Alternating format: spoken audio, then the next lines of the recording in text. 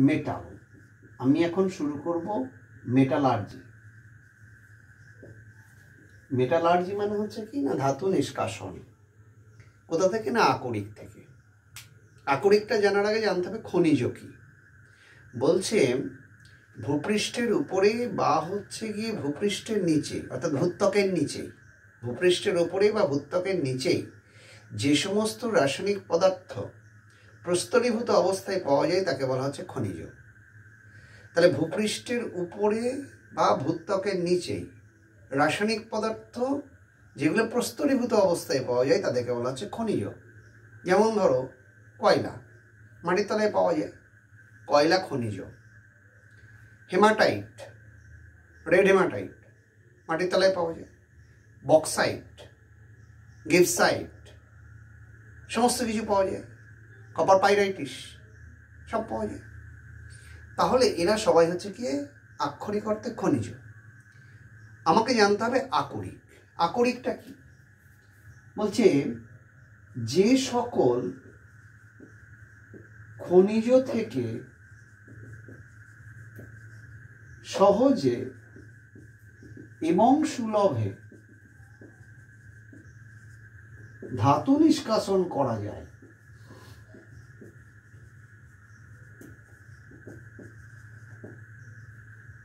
তাকে আকরিক বলে। যেমন, ধরো কয়লা। কয়লার মধ্যে থেকে ধাতু পাওয়া যায় কি? পাওয়া যায় না। সুতরাং কয়লা খনিজ হতে পারে, কিন্তু আকরিক নয়। কিন্তু রেড হেমাটাইট, সে তো প্রকৃত অর্থে খনিজ। ভূত্বকের নিচে প্রস্তরীভূত অবস্থায় পাওয়া যায়। কিন্তু সেখান থেকে সহজে এবং সুলভে আমরা কি? আয়রন নিষ্কাশন করতে পারি। সুতরাং আমরা বলতে পারি রেড হেমাটাইট কি? আকরিক। তাহলে বেসিক জায়গাটা হলো এইটা। সমস্ত আকরিক হলো খনিজ, কিন্তু সমস্ত খনিজ আকরিক নয়। যদি আমি এক্সাম্পল দিয়ে বলতে চাই, ধরো আয়রন পাইরাইটিস সেটাও ভূত্বকের নিচেই প্রস্তরীভূত অবস্থায় পাওয়া যায়। সেটাও খনিজ। রেড হেমাটাইট তাকেও প্রস্তরীভূত অবস্থায় পাওয়া যায়, মাটির নিচে সেও খনিজ। কিন্তু রেড থেকে সহজে এবং সুলভে আমি আয়রন নিষ্কাশন করতে পারি। কিন্তু আয়রন পাইরাইটিস থেকে আমি সহজে এবং সুলভে আয়রন নিষ্কাশন করতে পারি না। তার মানে আয়রন পাইরাইটিস, সে একটা খনিজ, কিন্তু আকরিক নয়। আবার রেড হেমাটাইট সেও খনিজ, কিন্তু আকরিক। সিমিলারলি কয়লা। কয়লা খনিজ, কিন্তু ধাতু পায় না। সুতরাং খনিজ বাট আকরিক নয়। তার মানে বোঝা যাচ্ছে সমস্ত আকরিকই খনিজ, কিন্তু সমস্ত খনিজ আকরিক নয়। এবার দেখো, আমরা প্রথমে আকরিক থেকে ধাতু নিষ্কাশনের কতগুলো ধাপ আছে? আগে সেই পরপর ধাপগুলো কি কি? সেই পরপর ধাপগুলোকে আগে আলোচনা করব। প্রথমে কি করা হয়? না, এক নম্বর হচ্ছে গিয়ে উত্তোলন।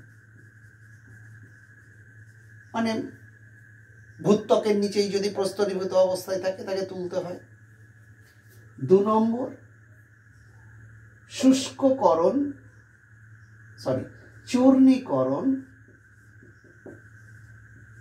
ও শুষ্ককরণ।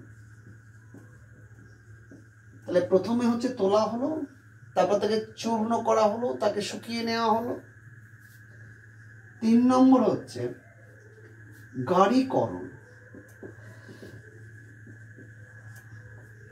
গাঢ় করতে হবে। চার নম্বর ভস্মীকরণ বা তাপজারণ।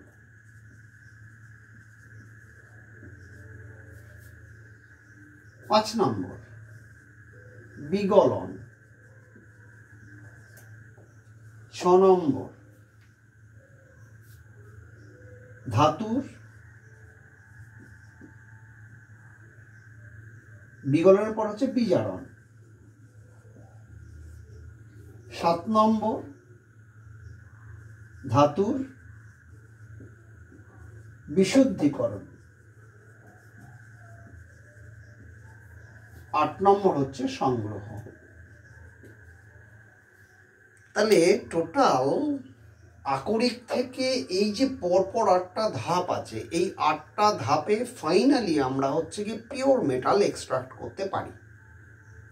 তাহলে এই যে উত্তোলন, চূর্ণীকরণ, এই ধাপ নিয়ে কারোর কোনো অসুবিধা থাকার কথা নাই, নেই। এর পরবর্তী যে গাড়িকরণ বলে একটা ধাপ রয়েছে, এই ধাপটা সম্পর্কে এবার আলোচনা করতে হবে। প্রত্যেকটা ধাপকেই আমি একে একে আলোচনা করব। গাড়িকরণ মানে কি? মাটির তলা থেকেই হোক আর ভূত্বকের ওপরেই হোক, যে আকরিকগুলো পাওয়া যায়, তার মধ্যে তো অনেক অশুদ্ধি আছে। তাহলে অশুদ্ধিকে দূর করে গাঢ় করতে হবে তো? না হলে তো আমার খরচ বেশি হয়ে যাবে। ওদেরকে আগে গাঢ় করে নিই, তাহলে তো সেখান থেকে সহজে কম খরচে পাবো। গাড়িকরণের অনেকগুলো ধাপ আছে। গাড়িকরণের ধাপগুলো কি? এক নম্বর হচ্ছে অভিকর্ষ পদ্ধতি। বা জল ধৌতকরণ পদ্ধতি। অভিকর্ষ পদ্ধতি বা জল ধৌতকরণ পদ্ধতি। কোন ধরনের আকরিকের সালফাইড আকরিক ছাড়া অন্যান্য আকরিকগুলোর এই পদ্ধতিতে গাড়িকরণ করা হয়। এবং যেগুলো হচ্ছে গিয়ে মানে চুম্বক দ্বারা আকর্ষিত হয় না। এই ধরনের যেগুলো রয়েছে আকরিক, তাদের ক্ষেত্রে এই অভিকর্ষ পদ্ধতি বা জল ধৌতকরণ পদ্ধতিটা ব্যবহার করে। অভিকর্ষ পদ্ধতিটা বলার মানে হলো, যারা ভারী, তারা নিচে পড়বে, অভিকর্ষ বলের প্রভাবে। এটাই হচ্ছে মূলনীতি কি করা হয় দেখো? না এই রকম একটা আনত তল থাকে, যে তলের ভেতরে এইরকম আনত তল থাকে, এই তলের ভেতর এইরকম খাপ কাটা থাকে, এরকম সব খোপ করে দেওয়া থাকে। এইখানে একটা কল থাকে, কলের মধ্য দিয়ে জলের ধারা দেওয়া হয়। প্রথমে কি করা হয় না, এই যে খোপটা রয়েছে, তার মানে তার মধ্যে চূর্ণীকৃত আকরিক প্রথমে দিয়ে দেওয়া হলো। তাহলে এর মধ্যে কারা রয়েছে? ধুলো, বালি, জৈব, অশুদ্ধি সবই রয়ে গিয়েছে। এর সঙ্গে যখন এখান থেকে জলটা এখানে এলো, তাহলে এর সঙ্গে যে সমস্ত ধুলো, বালি, জৈব অশুদ্ধি ছিল, সেগুলো কি হলো? এখান থেকে ধুইয়ে নিয়ে আবার বেরিয়ে আসতে আরম্ভ করল। এইবার জল ক্রমশ ঢুকতে থাকলে কি হবে? তাহলে প্রথমে অশুদ্ধিগুলো বেরিয়ে চলে গেল। তারপরে কি হলো? না, এদের মধ্যে কিছু টুকরো, সেই টুকরোগুলো এর সঙ্গে বেরোতে আরম্ভ করল। তার সঙ্গে অশুদ্ধিগুলিও বেরোতে আরম্ভ করল। সেই টুকরোগুলো এসে আবার পৌঁছলো কোথায়? এখানে পৌঁছলো। তারপরে একই পদ্ধতিতে আবার কি হলো? না টুকরোগুলো এইখানে এসে পৌঁছতে আরম্ভ করল? যেহেতু অশুদ্ধির চেয়ে এদের ওজনটা বেশি, যার জন্য এখানে জমা হতে আরম্ভ করল। তাহলে যখন একদম প্রথম থেকে শেষ খোপটায় পৌঁছলো, তখন দেখা গেল, না অশুদ্ধিগুলো প্রায় সব বেরিয়ে গেল, শুধু পড়ে রইল কোনটা? আকরিকটা পড়ে রইল। তাহলে এইটাকে বলা হচ্ছে জল ধৌতকরণ পদ্ধতি। তাহলে এই পদ্ধতিতে আমরা আকরিকের গাড়িকরণ করি। তাহলে যেগুলো বেরিয়ে গেল সেগুলো কারা? জৈব অশুদ্ধি বলো, ধুলো, বালি, কাদা যেগুলো ছিল বেরিয়ে গেল সেগুলোকে বলব কি? খনিজ মল। অর্থাৎ আকরিকের গাড়িকরণের সময় যে উপজাত পদার্থ তৈরি হয়, যেগুলোর কোনো প্রয়োজন লাগে না আমাদের, তাদেরকে বলা হচ্ছে খনিজ মল। তাহলে খনিজ মল হলো আকরিকের গাড়িকরণের সময় যে অশুদ্ধিগুলো নির্গত হয়, যেগুলো আমাদের কোনো প্রয়োজনে লাগে না, সেগুলোকে বলা হচ্ছে খনিজ মল। যেমন ধুলো, বালি, জৈব অশুদ্ধি, এগুলো সবই হচ্ছে খনিজ মল। আর জানবে এর কোনো ব্যবহার নেই। এটা হলো অভিকর্ষ পদ্ধতি। এরপরে ধরো, চৌম্বক ক্ষেত্র প্রয়োগ করবে। চৌম্বক ক্ষেত্র প্রয়োগ করাটা কি? চৌম্বক ক্ষেত্র প্রয়োগটা হচ্ছে যে সমস্ত আকরিকগুলো প্রয়োগ যে সমস্ত আকরিকগুলো চুম্বক দ্বারা আকর্ষিত হয়, তাদের গাড়িকরণের একটা পদ্ধতি রয়েছে। কীরকম? বলছে এই রকম একটা কনভয়ার বেল্ট আছে। এই কনভয়ার বেল্টের এইখানে সব এক একটা খাপ যুক্ত করা আছে। কনভয়ার বেল্টের ওপর খাপ যুক্ত করা আছে। আর এইখানে এই কনভয়ার বেল্টটা কি হবে? এদিক দিয়ে যাবে, গিয়ে এই দিক দিয়ে ঘুরতে আরম্ভ করবে?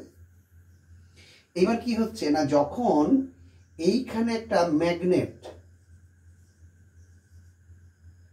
ম্যাগনেট রাখা আছে। মানে যার ক্ষেত্র প্রবলতা যথেষ্ট ভালো, অর্থাৎ বেশ উচ্চ মেরু শক্তির একটা চুম্বক রাখা রয়েছে, সেই চুম্বকটা ওইখানে রয়ে গিয়েছে আর বেলটা হচ্ছে গিয়ে এইভাবে মুভ করছে।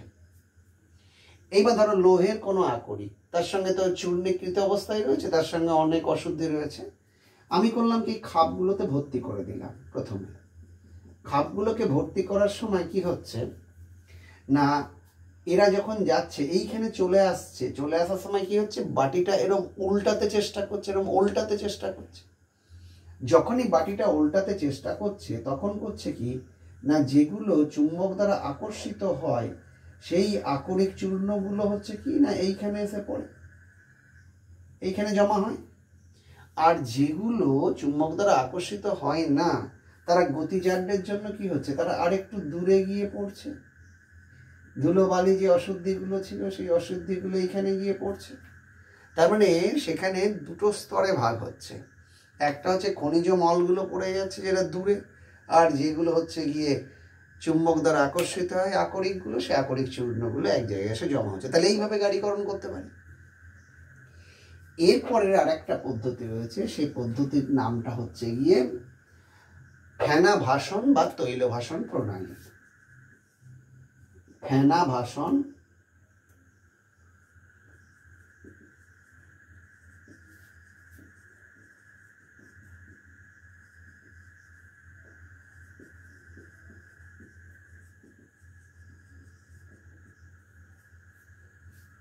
তাহলে ফেনা ভাষণ বা তৈল ভাষণ প্রণালী, এই প্রণালীতে তোমার হচ্ছে গিয়ে ওই আকরিকের গাড়িকরণ করা হয়। এখানে মূলত সালফাইড জাতীয় আকরিকগুলোকে গাড়িকরণ করা হয়। সালফাইড জাতীয় আকরিক। কি করা হয়? বিষয়টা একটু দেখো।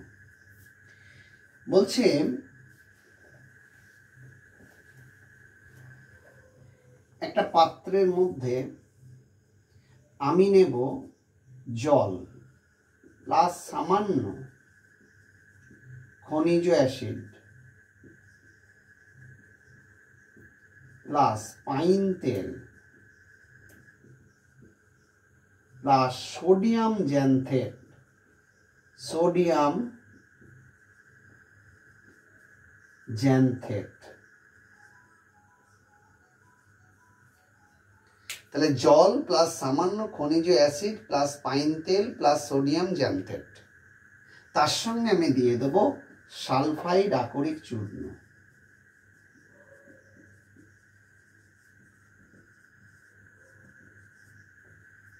এই সালফাইড আকরিক চূর্ণ যখন দিয়ে দেব, দেওয়ার পর করব কি? এর মধ্যে প্রবল বেগে বায়ু পাঠাবো। প্রবল বেগে বায়ু পাঠাবো। যখন প্রবল বেগে বায়ুটা পাঠাবো, তখন কি হবে না? এখানে প্রচণ্ড আলোড়ন সৃষ্টি হবে। প্রচণ্ড আলোড়ন সৃষ্টি হবে। এই যে আলোড়ন সৃষ্টিটা হলো, এর ফলে কি হলো না? ওপরে একটা ফেনা তৈরি হলো। সেই ফেনাটার মধ্যে সালফাইড আকরিকগুলো ভেসে রইল। আর প্রশ্ন হচ্ছে যে এই সালফাইড আকরিকগুলোই বা কেন এই পদ্ধতিতে আমরা গাড়িকরণ করতে পারি? বলছি, যেটা ব্যবহার করা হচ্ছে সেটা হচ্ছে কি? Sodium xanthate. এই সোডিয়াম জ্যান্থেটের একটা বিষয় রয়েছে। এখানে অ্যালকিল চেন আছে, দীর্ঘ শৃঙ্খল। যেটা হাইড্রোফোবিক চেন, তার সঙ্গে রয়েছে একটা জ্যান্থেট গ্রুপ। এই যে গ্রুপটা, এই জ্যান্থেট গ্রুপটা করে কি, তারা হচ্ছে গিয়ে কি করে, না সালফাইড আকরিকের সঙ্গে যুক্ত হয়। মানে সাপ যেমন মুখে ব্যাং ধরলে, ধরা অবস্থায় থাকে, তো এরা করে কি, না সালফাইড আকরিকগুলোকে এরা মুখে ধরে। যেহেতু এটা হাইড্রোফোবিক মানে জল বিকর্ষী তাই জল থেকে দূরে থাকার চেষ্টা করবে। পাইন তেলের কাজ কি? পাইন তেল কী করে? ফেনাটা তৈরি করে দেবে। ফেনাটা তৈরি করবে। তাহলে যেহেতু এই হাইড্রোফোবিক, হাইড্রোকার্বন চেনটা জলকে অপছন্দ করে, যার জন্য কি করছে? জলের ওপরে ভেসে থাকছে। এর ফলে কি হলো? সালফাইড আকরিকগুলো কি হলো? ওর মুখে আটকে থাকছে। আমি করলাম কি? সেই ফেনা সমেত, ফেনাটা জাস্ট আমি কালেক্ট করে নিলাম, তুলে নিলাম, দিয়ে কী করলাম? বায়ুতে শুকিয়ে নিলাম। বাড়িতে শুকিয়ে নিয়ে সালফাইড আকরিকগুলো কি হয়ে গেল? গাঢ় হয়ে গেল। তা এইটাকে বলা হচ্ছে তোমার ফেনাবাসন পদ্ধতি। তা সোডিয়াম জ্যান্থেটের কাজ কি? না, হচ্ছে গিয়ে সালফাইড আকরিকগুলোকে ধরে নেওয়া। আর তোমার হচ্ছে গিয়ে পাইন তেল কি করে? না, ফেনা তৈরি করে। এখন প্রশ্ন হচ্ছে যে, স্যার, যদি এর মধ্যে আরও সালফাইড আকরিক ধরুন আমি লেডের কোনো সালফাইড আকরিক তার মধ্যে অশুদ্ধ হিসেবে জেডেন এস আছে। তাহলে তো তখন কি করব? তাহলে দুজনেই তো একসঙ্গে ফ্যানের সঙ্গে ভেসে উঠবে। তো তখন কি করে সেপারেট করব? কারণ জিঙ্ক সালফাইড এটা তো অশুদ্ধি লেড সালফাইডটা হচ্ছে কি আমাকে আকরিক, সেটাকে আমাকে নিতে হবে। তখন করা হয় কি এইরকম ক্ষেত্রে করা হয় কি, না কিছু রাসায়নিক পদার্থ ব্যবহার করা হয়, যেগুলো এই অশুদ্ধ হিসেবে যে সালফাইড আকরিকগুলো থাকে, তার সঙ্গে বিক্রিয়া করে একটা যৌগ তৈরি করে ফেলে এবং দ্রবণের মধ্যে দ্রবীভূত অবস্থায় রেখে দেয়। তাহলে বাইরে থেকে এই যে কেমিক্যালসটা ইউজ করা হলো, এই কেমিক্যালসটাকে বলা হচ্ছে ডিপ্রেশান্ট। তাহলে ডিপ্রেশান্ট হলো কি? না, সালফাইড আকরিকের মধ্যে যে সালফাইড আকরিকটা অশুদ্ধ, তাকে আমার সলিউশনের মধ্যে কম্পাউন্ড হিসেবে দ্রবীভূত অবস্থায় রাখতে হবে। যাতে করে ও কোনো ডিস্টার্ব না করে। তাহলে বাইরে থেকে যে কেমিক্যালসটা ইউজ করা হয়, সেটাকে বলা হচ্ছে ডিপ্রেশান্ট যেমন ধরো, আমি বলছি পিবিএস আছে, অশুদ্ধ হিসেবে জেডএনএফ আছে। আমি করব কি? সোডিয়াম সায়ানাইড দেব। সোডিয়াম সায়ানাইড দিলে কি করবে? না, জিঙ্কের সঙ্গে রিয়াকশন করে NA two ZN CN whole four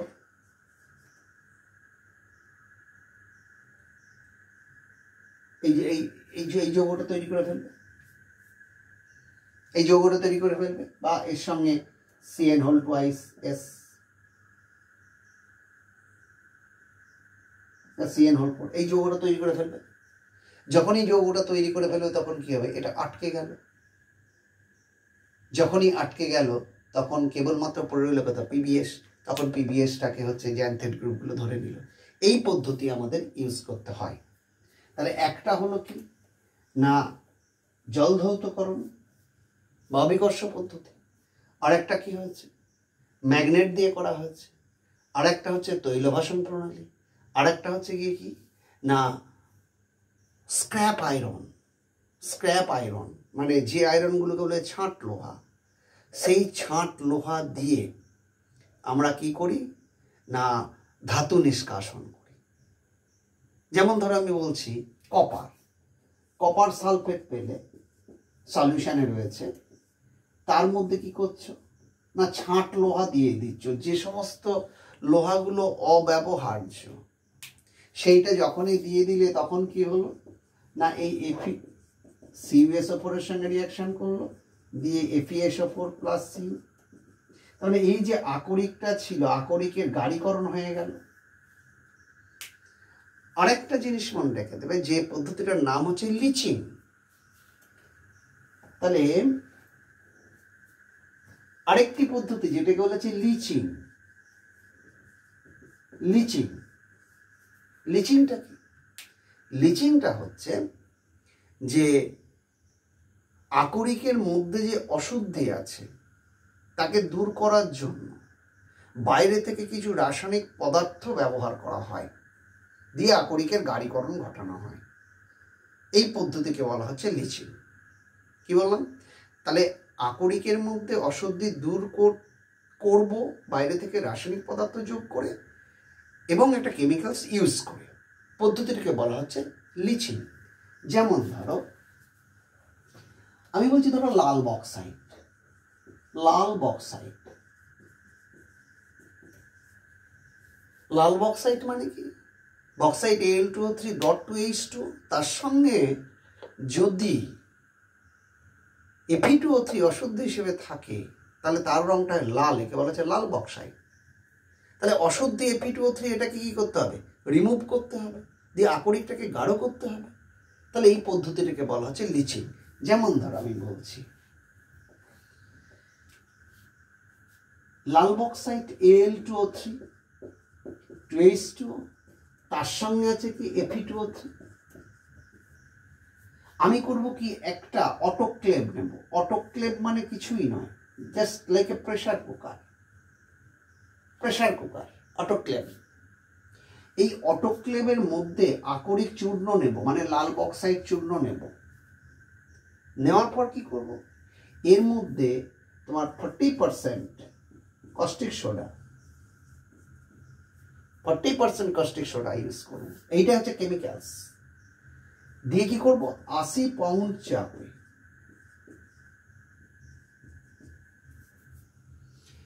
একশো চল্লিশ ডিগ্রি সেন্টিগ্রেড তাপমাত্রায় আট ঘণ্টা ধরে আলোড়ন করব।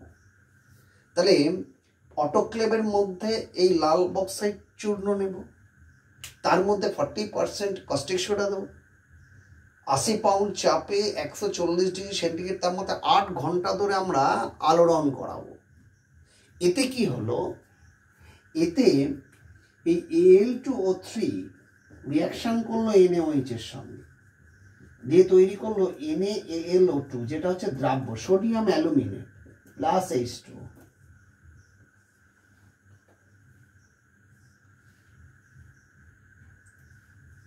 তাহলে এটা হচ্ছে দ্রাব্য।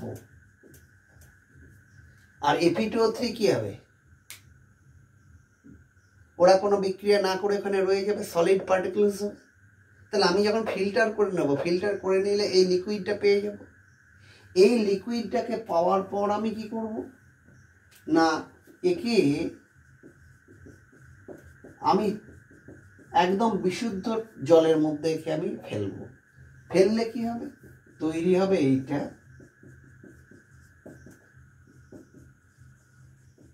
এটা অদক্ষিপ্ত হবে।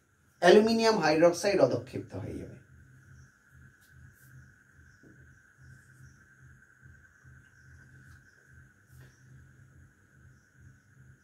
তাহলে অ্যালুমিনিয়াম হাইড্রক্সাইড হচ্ছে গিয়ে অদক্ষিপ্ত হয়ে গেল। এইটাকে নিয়ে আমি বায়ুতে বায়ুতে বায়ুতে এগারোশো ডিগ্রি সেন্টিগ্রেড তাপমাত্রা হিট করলেই আমি এল টু থ্রি পাবো। এটা পেয়ে যাব তার মানেটা হলো এইটা, যে আমি এফিটো থ্রিটাকে দূর করলাম।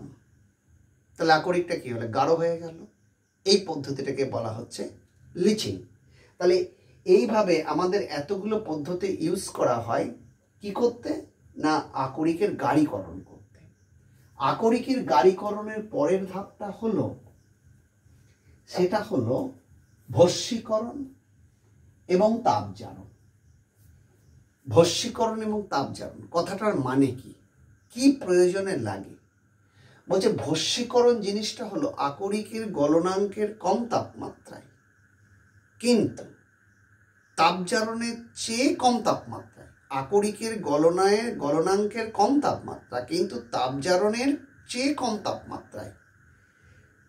সালফাইড আকরিক ছাড়া সালফাইড বা সালফেট আকরিক ছাড়া অন্য কোনো আকরিককে বায়ু প্রবাহে উত্তপ্ত করে সছিদ্র এবং সছিদ্র করা এবং ওর মধ্যে অশুদ্ধিগুলোকে দূর করা এবং তার সঙ্গে হালকা করা।